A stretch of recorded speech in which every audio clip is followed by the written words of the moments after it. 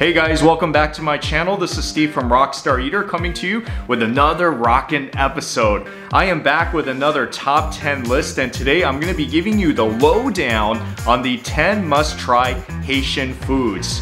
Haitian food is from, of course, Haiti, which is in the Caribbean seas. It's really one of the best Caribbean foods that you can eat. So whether you're traveling to Haiti or you walk into a Haitian restaurant, you're gonna be wondering, what food should I order? What are some of the traditional must-try Haitian foods? So that's, that's what I'm gonna do in this episode by giving you 10 foods that you can start out with. Now keep in mind that these aren't the only 10 Haitian foods to try because there's so many really good Haitian foods. But if you start with these 10, then you'll get a good idea of what Haitian food is about. So consider this Haitian food for beginners. And if you guys want to see what Haitian food is all about, then of course you need to stick all the way to the end of this episode so that you can get all 10 of these and be familiar so that when you walk into a restaurant, you'll know what to order. And also if you guys are new to this channel, then take a moment right now to hit that subscribe button as well as the notification bell because I release these awesome food videos weekly, some of the best on the internet that you don't want to miss out on. So go ahead and hit that subscribe button and you'll be all set to get these episodes. So without wasting any more time, let's begin with Haitian food number one. Bouillon. This is called Haitian beef stew and it's a popular Haitian soup made with meat, yams, kelp, cabbage, plantain, potato, celery, and other great ingredients. Sometimes it is served with small dumplings. This food derives its name from a French word which means to boil. It is best to eat this soup hot and if you like vegetable soups with chunks of meat that is hearty and delicious, go with this one. Most every Haitian will tell you that the bouillon is something that you can't miss in a Haitian restaurant. So if you guys don't know what other soups to get, then this is a really good one to start with, especially if you love the combination of beef and vegetables in a stew-like texture. Number two, griot. This is a typical Haitian dish consisting of pork meat cubes that are marinated in sweet, spicy, and tangy marinade, then fried in a skillet until it is nice, dark, golden brown. This is Haiti's national dish, so it cannot be missed, especially if you like pork. If you like the mixture of spicy, sweet, and slightly sour with the rich taste of the pork, then you have found your dish. I would say that this is probably the top three of the foods that you should try in a Haitian restaurant if you just really had to narrow it to three, but of course this is a top 10 episode. Number three, Joumou.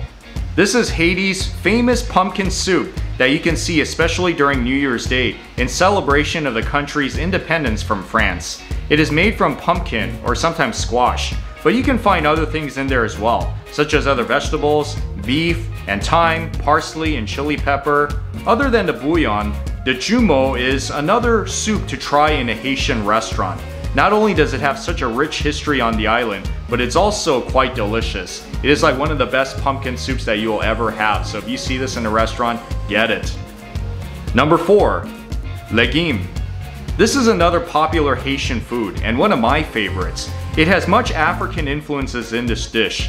Legume means vegetables, and this dish has many of them mashed and cooked together, such as cabbage and eggplant, watercress, green beans, and carrots. And it is usually cooked with beef, especially if you want to add meat to this dish. This meal is traditionally served on Saturdays or served with rice and corn meal and if you like this flavor profile, and this is another one you absolutely need to get in a Haitian restaurant, probably another one of the top three I would say.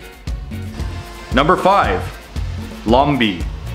Since Haiti is an island in the Caribbean, it is bound to have its signature seafood dishes. And you can't miss out on the lambi if you want to try some of the island seafood. And one of them is the conch meat, which is called lambi in Creole. It is an island delicacy the meat is usually tenderized before cooking so that it is very tender and not tough. And it is grilled to perfection, so it's kind of like barbecue conch. But this conch can also be eaten fried or put into salad.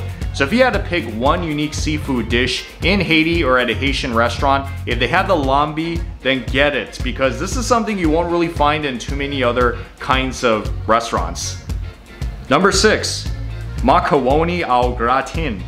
This is pretty much the Haitian version of mac and cheese. What makes this mac and cheese different from others, other than the name, is the type of noodles used in this dish. They use rigatoni or penne pasta, so the pasta is bigger.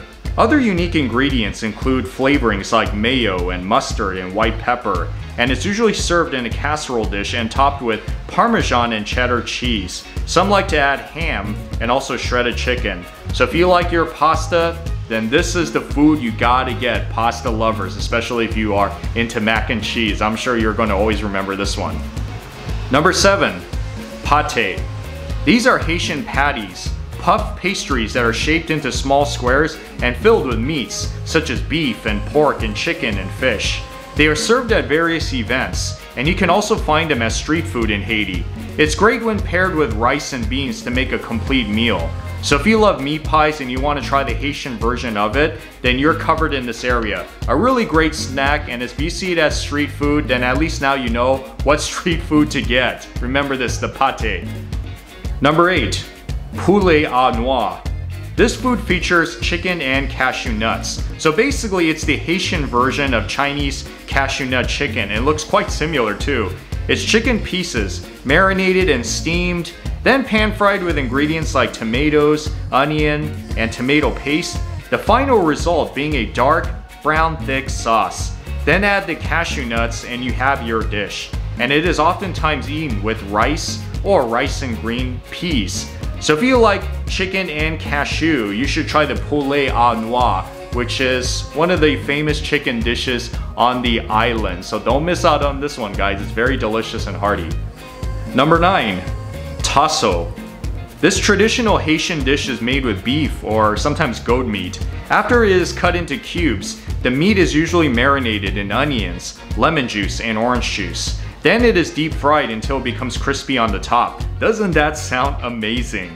And it is also served with fried plantains, rice and beans, and spicy sauce called ti-malice on the side. You can't go wrong with fried meats. So if you see this dish on the menu, whether you like beef or you like goat, then get it. Remember that, the tasso, a delicious meat dish. And finally, number 10, tchaka. Here is awesome Haitian stew that is often called the Haitian bean and corn casserole. As said, it is a hearty stew made of dried corn, red beans, squash, smoked pork leg. This dish is fairly easy to make, but it takes a lot of time, as much of it involves the hours simmering the stew in order to achieve that perfect taste and texture. So if you had to pick one Haitian stew dish on the menu and you like pork and beans, then this is the one I think you should get. I mean, I love foods like this in general, and I'm sure you will too, especially if you are into stews.